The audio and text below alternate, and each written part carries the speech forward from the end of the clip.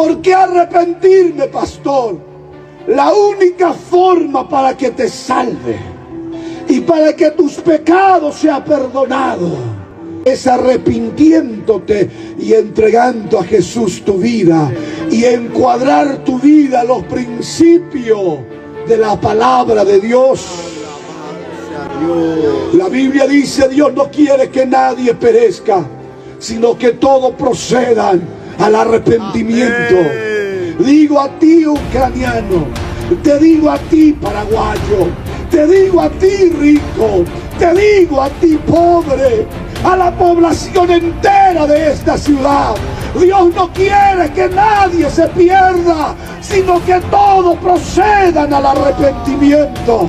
¿Y qué es arrepentimiento? ¿Cambio de religión? No. Arrepentimiento es cambio interior de mentalidad. Arrepentimiento es cambio de dirección.